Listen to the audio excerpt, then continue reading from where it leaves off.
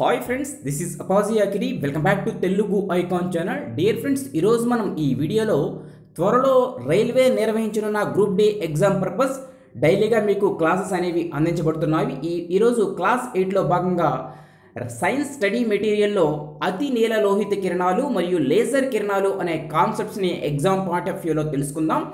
ఈ వీడియో వివరాలకు వెళ్ళే ముందు please subscribe to Telugu icon channel మన తెలుగు ఐకాన్ ఛానల్ని సబ్స్క్రైబ్ చేసుకోండి. రెడ్ కలర్లో ఉన్న సబ్స్క్రైబ్ బటన్ని పక్కన ఉన్న బెల్ ఐకాన్ కూడా క్లిక్ చేయండి. తద్వారా మరిన్ని అప్డేట్స్ని మన క్లాస్ నుంచి వెలువడే మరిన్ని అప్డేట్స్ని పొందండి. ఓకే ఫ్రెండ్స్ ఇక ఆలస్యం చేయకుండా మనం వివరాలకు వెళ్ళిపోతాం ఈరోజు మనం అతి నీల లోహిత కిరణాలు అల్ట్రా వైలెట్ రేస్ మరియు లేజర్ కిరణాలు కోసం తెలుసుకుందాం. ముందుగా మనం అతి నీల లోహిత కిరణాలు. అతి నీలలోహిత కిరణాలు అంటే ఏంటి? వర్ణపటములో ఊదారంగు ముందుగల కాంతి కిరణాలని అతి నీలలోహిత కిరణాలు అంటారు. అతి నీలలోహిత కిరణాలు అంటే ఏం కాదండి? మనం సూర్యుని నుంచి వచ్చే కిరణాలని అతి నీలలోహిత కిరణాలు అంటాం. అయితే ఈ అతి నీలలోహిత కిరణాలు అనేవి డైరెక్ట్గా మన భూమి మీద పడితే అది మాకు మనకి చాలా ప్రమాదకరం. అయితే వాటిని మన మన శరీరం మీద డైరెక్ట్గా అతి నీలలోహిత కిరణాలు పడితే మనకి చర్మ సంబంధిత వ్యాధులు అనేవి వస్తాయి. అయితే మనకి ఈ అతి నోలు అతి నీల లోహిత కిరణాల నుంచి ఓజోన్ పొర అనేది మనకి కాపాడుతుంది. ఈ అతి నీల లోహిత కిరణాలని ఫిల్టర్ చేసి ఆ కిరణాలని ఓజోన్ పొర కిందకి పంపిస్తుంది. అందువలన మనకి ఆ ప్రమాదం అనేది ఉండదు.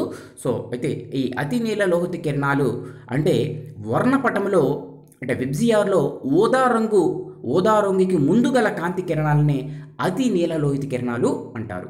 ఈ అతి నీల లోహిత కిరణాలని రిక్టర్ అనే శాస్త్రవేత్త కనుగొన్నారు. అతి లోహిత కిరణాల తరంగదైర్ఘ్యం అనేది నాలుగు వేల యాంగ్స్టామ్ యూనిట్స్ నుంచి వంద యాంగ్స్టామ్ యూనిట్స్ వరకు ఉంటుంది. అయితే ఈ అతి నీల లోహిత కిరణాలు అల్ట్రా వైలెట్ రేస్ యొక్క అనువర్తనాలు మనం చూద్దాం. చూడండి. వైద్య రంగంలో చర్మ వ్యాధుల నివారణకు కణతలు కురుపులు వ్యాధి సోకిన ఎముకలు వ్యాధిగ్రస్తమైన గాయాలను నిర్మూలించుటకు ఈ అతి నీలలోహిత కిరణాలని ఉపయోగిస్తారు. ఏంటి? వైద్య రంగంలో చర్మ వ్యాధుల నివారణకు కణతలు కురుపులు వ్యాధి సోకిన ఎముకలు వ్యాధిగ్రస్తమైన గాయాలని నిర్మూలించడానికి ఈ అల్ట్రావైలెట్ రేస్ని ఉపయోగిస్తారు.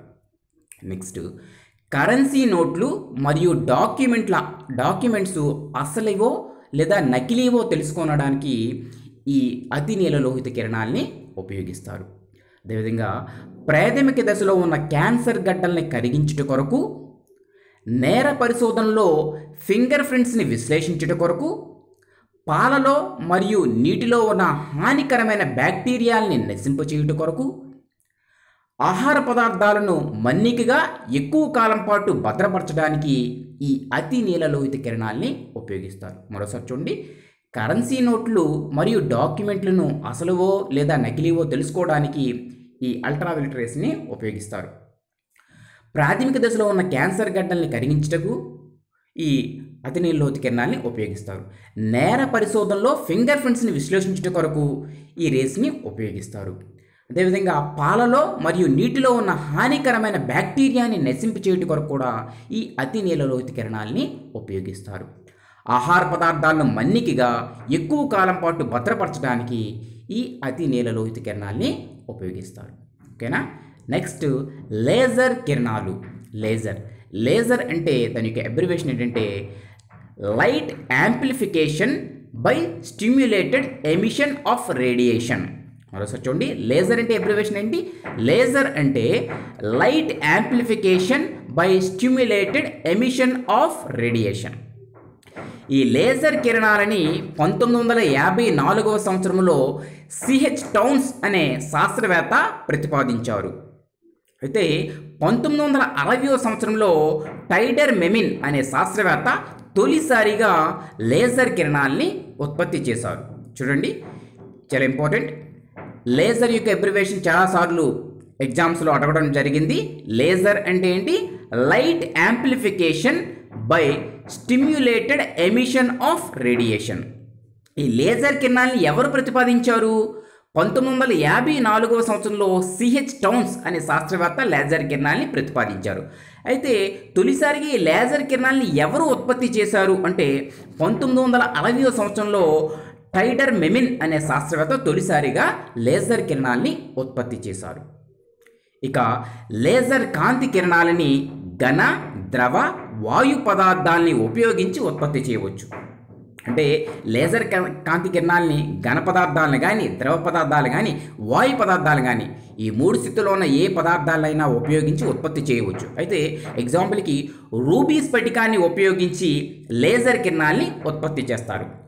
రూబీ స్ఫటికాన్ని అనే ఒక ఘన పదార్థాన్ని ఉపయోగించి లేజర్ కిరణాల్ని ఉత్పత్తి చేస్తారు. జడవాయువులైన హీలియం నియాన్లను ఉపయోగించి హవి జవాన్ అనే అమెరికా శాస్త్రవేత్త లేజర్ కిరణాల్ని ఉత్పత్తి చేశారు. ఏంటిది? చూడండి ఎగ్జామ్ పాయింట్ ఆఫ్ వ్యూలో ఈ కింది వాటిలో ఏ స్ఫటికాన్ని ఉపయోగించి లేజర్ కిరణాల్ని ఉత్పత్తి చేస్తారు అని అడగవచ్చు. దాంట్లో మీరు రూబీ రూబీ స్ఫటికం అనేది గుర్తుంచుకోండి. రూబీ స్ఫటికాన్ని ఉపయోగించి లేజర్ కిరణాలను ఉత్పత్తి చేస్తారు. నెక్స్ట్ అదేవిధంగా ఈ కింది వానిలో ఏ వాయువులను లేదా ఏ జడ వాయువును ఉపయోగించి లేజర్ కిరణాలు ఉత్పత్తి చేస్తారంటే హీలియం నియాన్. గుర్తుంచుకోండి హీలియం నియాన్ అనే జడవాయువును ఉపయోగించి హవి జవాన్ అనే అమెరికా శాస్త్రవేత్త లేజర్ కిరణాల్ని ఉత్పత్తి చేశారు. ఇక లేజర్ కిరణాల యొక్క అనువర్తనాలు చూద్దాం. రక్తం కారకుండా చేసే శస్త్రచికిత్సలకి ఈ లేజర్ కిరణాల్ని ఉపయోగిస్తారు. ఈ మధ్యకాలంలో మనకి జరిగే సర్జరీల్లో చాలా మటుకు అంటే కొంచెం కాస్ట్లీ దీనికి చాలా ఖర్చుతో కూడుకున్న ఇది సర్జరీ. అలాంటి వాటిలో మనకి ఈ లేజర్ కిరణాలను ఉపయోగించి లేజర్ ఆపరేషన్ లేజర్ సర్జరీ చేసి రక్తం కారకుండా సర్జరీలు జరుగుతున్నాయి సో కాబట్టి రక్తం కారకుండా చేసే శస్త్రచికిత్సలు ఉంటే ఆపరేషన్ సర్జరీస్లో ఈ లేజర్ కిరణాల్ని ఉపయోగిస్తారు. అదేవిధంగా కాలేయం ఊపిరితిత్తుల సంబంధిత వ్యాధుల నివారణకు కంటికి సంబంధించిన వ్యాధులను నయం చేయడానికి రెటీనాను అతికించడానికి ఈ లేజర్ కిరణాల్ని ఉపయోగిస్తున్నారు. ప్రేగులలో అల్సర్ను పరిశీలించడానికి ఉపయోగించే ఎండోస్కోపీలో లేజర్ కిరణాల్ని ఉపయోగిస్తున్నారు. చూడండి. లేజర్ యొక్క అనువర్తనాలు మరోసారి చూడండి. రక్తం కారకుండా చేసే శస్త్రచికిత్సలకి ఉపయోగిస్తున్నారు. కాలేయం ఊపిరితిత్తుల సంబంధిత వ్యాధుల నివారణకి ఈ లేజర్ కిరణాల్ని ఉపయోగిస్తున్నారు. కంటికి సంబంధించిన వ్యాధులను నయం చేయడానికి రెటీనాను అతికించడానికి లేజర్ కిరణాల్ని ఉపయోగిస్తున్నారు.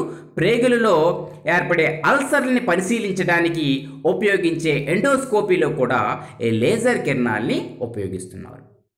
నెక్స్ట్ లోహాలను కోయడానికి అదేవిధంగా ఆ లోహాలకు రంధ్రాలు చేయడానికి ఆ లోహాలను అతికించడానికి ఈ లేజర్ కిరణాల్ని ఉపయోగిస్తున్నారు. నెక్స్ట్ వస్తువుల వివరాలను తెలిపే బార్ కోడ్ను చదవడానికి. మీరు చూసే ఉంటారు రకరకాల కాంపిటేటివ్ ఎగ్జామ్స్ ఎంట్రన్స్ ఎగ్జామినేషన్ మనం రాస్తూ ఉంటాం. మనకి ఓఎంఆర్ షీట్ ఇస్తారు.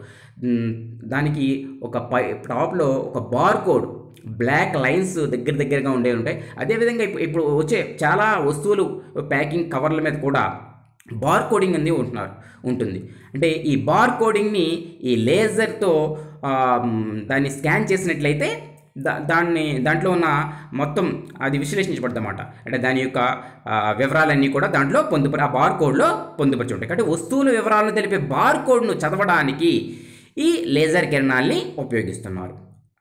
నెక్స్ట్ వజ్రం ఉక్కు వంటి దృఢ పదార్థాలలో రంధ్రాలు చేయడానికి లేజర్ కిరణాల్ని ఉపయోగిస్తారు.